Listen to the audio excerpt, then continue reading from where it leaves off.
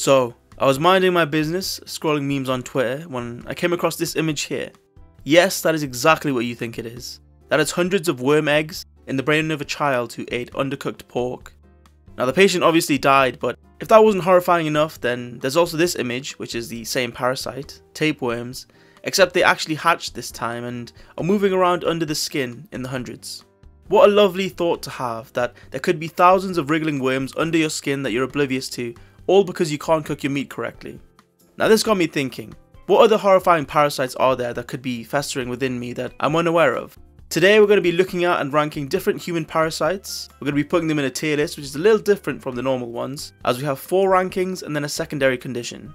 The secondary condition is just whether I would willingly contract the parasite for $100,000, but the parasite has to take its full effect before I can have it removed or treated. So no small ass in the comments can say that they'll take the Mega Brain AIDS parasite, but also the dewormer at the same time for $100,000. The rankings will go from no change, which is fairly straightforward, although I doubt many will be in this rank. Manageable change, which is for parasites that, although I wouldn't want, the symptoms slash effects aren't going to affect me too much. Next is horrifying, which, as the name implies, will be parasites that have very strong symptoms slash effects. And the final tier is krill my shelf, which I'll let you guess what that means. Our first parasite is going to be Balamuthia mandrillaris. I said that and my furniture started floating, so I'll call it B. mandrill for short. It's an amoeba that is found in soil and untreated water, and it can infect you through open wounds or through inhalation. This amoeba can cause granulomatous amoebic encephalitis, or GAE for short, which if you didn't know is just, uh, how do I put this? Necrotizing abscesses in the brain like this. Yeah, you can see the entire right side is melting away, and this is all happening while the patient is alive by the way. The symptoms of the disease include fatigue, fever, headaches, Oh, and personality changes. I guess when half your brain is melting away, you might have a few changes in your cognition. The disease is hard to diagnose because it rapidly spreads with a pathogenesis of around weeks to months, meaning you're probably dead before you can get the necessary scans and appointments to diagnose this. It also has a 90% mortality rate, and, and even if you do manage to survive, your brain will be more similar to that of a 90 year old with late stage Alzheimer's than anyone your own age due to all the brain damage. Yeah, I'm gonna have to pass on taking this for 100,000 and I'm also gonna put this in the horrifying tier as realistically I wouldn't need to krill myself as it would do it for me anyway. Our next parasite is the Candiru fish which is also known as the toothpick fish. Some of you may have already heard about this fish but for the uninitiated this fish swims up the male urethra and due to its spiny and toothpick like shape it's almost impossible to take out and causes sharp pain to the groin region. Now if you ask me to think of an animal that should be wiped off the face of the earth, I'm probably going to put penis toothpick fish right at the top because what was the need to evolve this method of survival, hmm? They're basically penis mosquitoes that drink the blood of their hosts to survive and are normally found in the gills of fish where they drink their blood. They inhabit the rivers of the Amazon basin and locals in the region often tie ligatures around their manhood so that when they travel through rivers they don't allow any candiru where the sun don't shine. Now some say that the candiru in the urethra is a myth and that fluid dynamics wouldn't allow for them to actually make it there, but that just sounds like pro-candiru propaganda to me. And I think that being misled is worth the risk of potentially having to castrate myself, which is apparently what some locals did after getting the disease. Obviously, I'm not going to take the money and it's easily going into the krill my shelf tier, I don't think I have to expand on why. Acanthamoeba trophozoite is our next parasite and I'll just show you the image of what it does firstly to set the scene. Yep, that is indeed the eye, and this parasite infects the cornea of the eye. It affects people who wear contact lenses and around 1 in 10,000 contact wearers will get the disease. I wear contacts sometimes and I think I slept with them in one time and now they float around at the back of my eye. Or I might just be crazy because I'd wake up and realise that I slept with them in and when I tried to take them out they're not there anymore. Anyways, this parasite obviously affects your sight and if left untreated will eventually cause you to turn blind, but because of this it's pretty easy to diagnose and treat.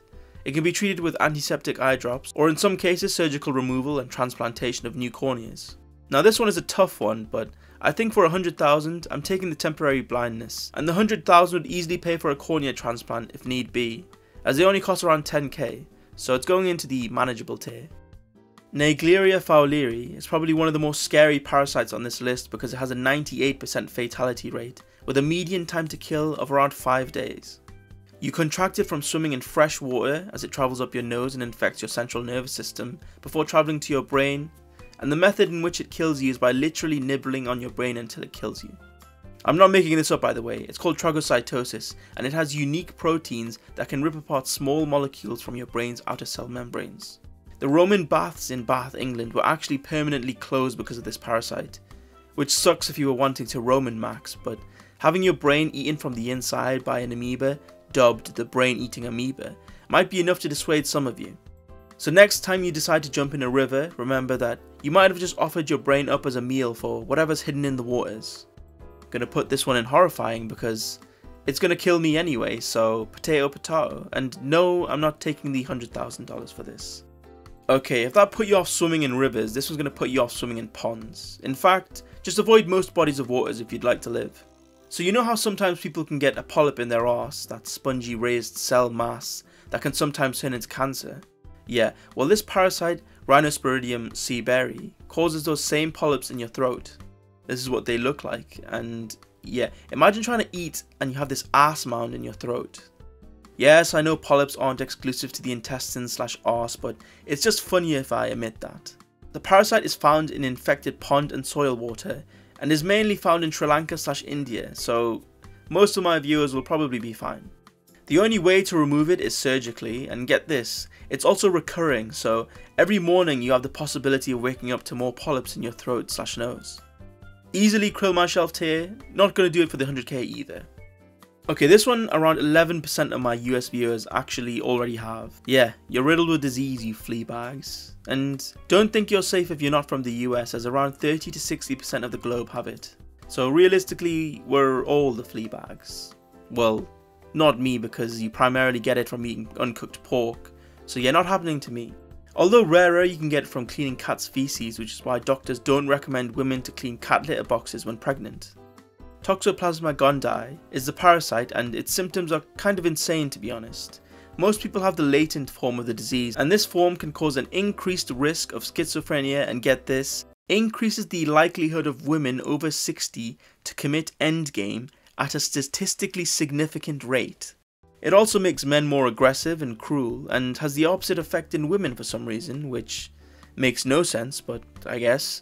It also increases your likelihood of being in a road traffic accident by 2.65 times, which I don't even know how this makes sense, but the study was recreated in Turkey and held up, so you know, the next time you get a speeding ticket, just pull ye old, I have a parasite that causes me to crash excuse. Most people already have this and don't know that they have it, so I'm to put it in the no change. As if I didn't tell you about it today, you wouldn't have maybe known ever.